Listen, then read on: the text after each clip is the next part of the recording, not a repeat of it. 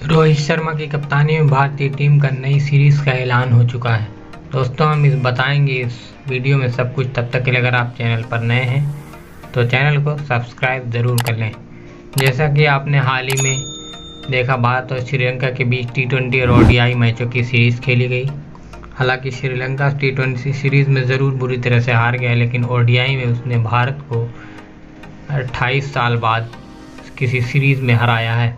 भारत श्रीलंका से 11 शून्य से आगे था, लेकिन ये पहली बार हुआ जब 28 साल बाद जब भारत श्रीलंका से सीरीज़ हार गया।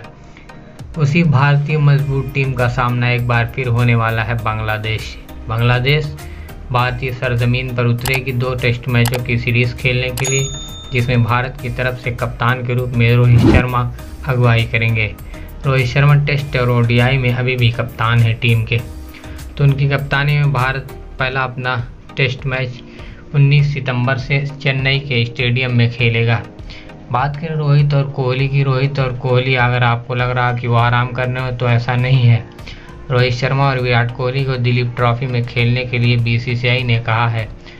बात करें दिलीप ट्रॉफी की तो आप ये जान लें कि विराट कोहली 2011 के बाद से पहली बार रणजी ट्रॉफी के किसी मुकाबले में खेलते हुए नज़र आएँगे। जो दिल्ली और यूपी के बीच उन्होंने अपना लास्ट का मुकाबला खेला था 2011 में। दोस्तों, आपको हमारी खबर कैसी लगी? हमें कमेंट में ज़रूर बताएँ और हमारी वीडियो को लाइक करें और चैनल को सब्सक्राइब ज़रूर कर लें। क्या आप विराट कोहली को रणजी में खेलने देखना चाहते हैं या नहीं, हमें कमेंट में ज़रूर बताएँ। मिलते हैं नेक्स्ट वीडियो में।